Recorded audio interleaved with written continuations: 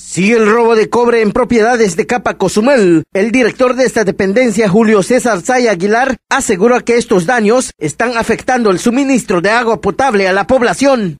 Vemos que el vandalismo o los robos también a la capa pues han dado, ¿no? Obviamente eh, en estas últimas fechas se han dado de manera este, menor, pero sí nos ha afectado porque prácticamente son las acometidas que nos han estado robando.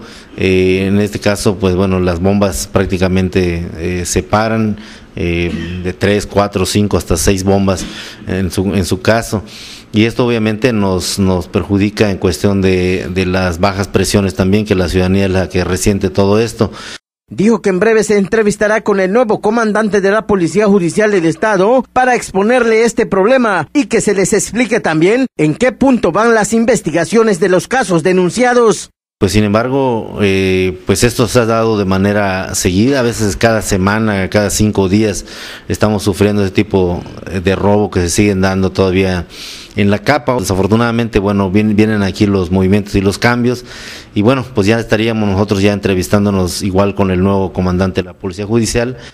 Explicó que el robo de material eléctrico no solamente afecta a la Comisión de Agua Potable y Alcantarillado, sino a la población en general pues obviamente nuestros altos costos que generan para nosotros, eh, no tanto estar que nuestro personal esté rehabilitando estos pozos, sino lo costoso y el daño que le generan a toda la comunidad. Eh, siempre recibimos algunas llamadas de, la ciudadanía, tanto aquí de la CAPA o a, un servidor, nos andan reportando que, en alguna colonia, en algún lugar, pues hay bajas presiones, y es correcto, es verdad. Say Aguilar dijo que las denuncias que han presentado en el Ministerio Público es del conocimiento de la coordinadora, por lo que espera que se dé seguimiento a las investigaciones. Bueno, eh, todavía está aquí la licenciada Estela Tun, que es la coordinadora del Ministerio Público. Eh, en un principio también con ella hablamos, eh, llamó al comandante anterior que estaba, le expuso la situación y la problemática que teníamos nosotros como capa, bueno, aparte que habían otras instituciones que estaban pasando lo mismo.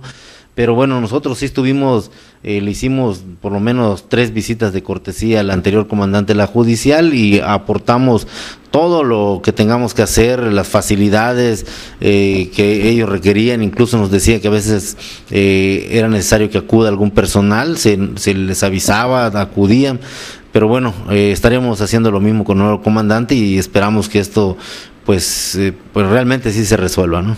Para Reporteros Sin Fronteras, con imágenes de Benjamín Carrillo, informó Ponciano Paul.